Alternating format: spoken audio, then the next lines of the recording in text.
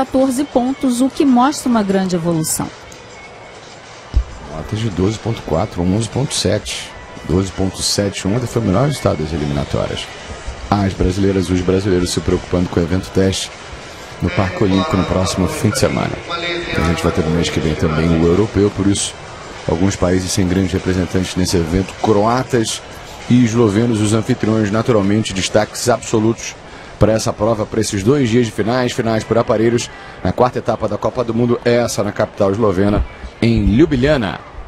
É, as árbitros ali estavam rindo porque elas levantaram a bandeira verde, a ginasta não viu e ela continuou lá borrifando água, borrifando água e a, e a árbitro assim, ah, tipo, eu tô com a bandeira aqui, vamos lá. Vai precisar de um sinal sonoro, é isso? De uma é campainha? verdade. Abdul Hadi da Malásia.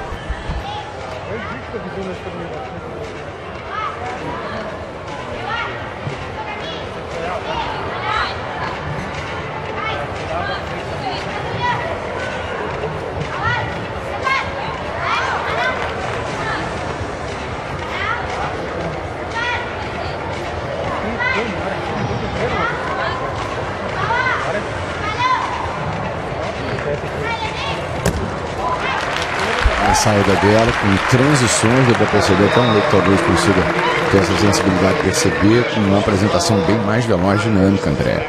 É verdade. Esse dinamismo faz, no geral, a nota subir um pouco, porque os árbitros percebem menos erros de execução. Né? Quanto mais rápido a ginasta executa, mais difícil fica de você ver pequenos detalhes.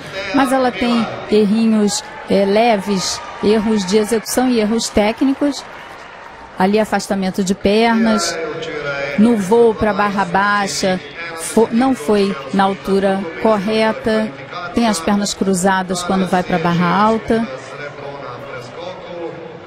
Olha, o tempo todo ela tem um pequeno afastamento de pernas. Cada afastamento de pernas desse ali de novo e de novo o árbitro vai tirando um décimo. Aí eu vou na mesma barra um requisito obrigatório dessa prova. Não vai a vertical ali na parada de mãos. Afastamento de pernas na saída um desequilíbrio ali grande na aterrissagem. E a técnica na torcida ali, né? Salta junto, né? Vem junto. Ela teve, Henrique, uma boa nota de dificuldade né, nas eliminatórias. A maior, a maior nota de dificuldade das eliminatórias, a melhor prova até aqui. O momento foi uma boa passagem em comparação com as competidoras que ela está apresentando nessa final. Vai receber uma boa nota, vai sair feliz com o resultado. Baku no Azerbaijão, Doha, Cottbus na Alemanha, agora a quarta etapa marcando a metade dessa temporada da Copa do Mundo de Ginástica em finais por aparelhos. Primeiro dia na Eslovênia, na capital Ljubljana. Já tivemos solo no masculino, salto no feminino, cavalo, que é uma prova, um aparelho masculino. Agora as paralelas ou assimétricas no feminino. Ainda vamos ter bolas. O resultado 13.1, sobrando na turma por enquanto, a representante da Malásia, Abdul Hadi.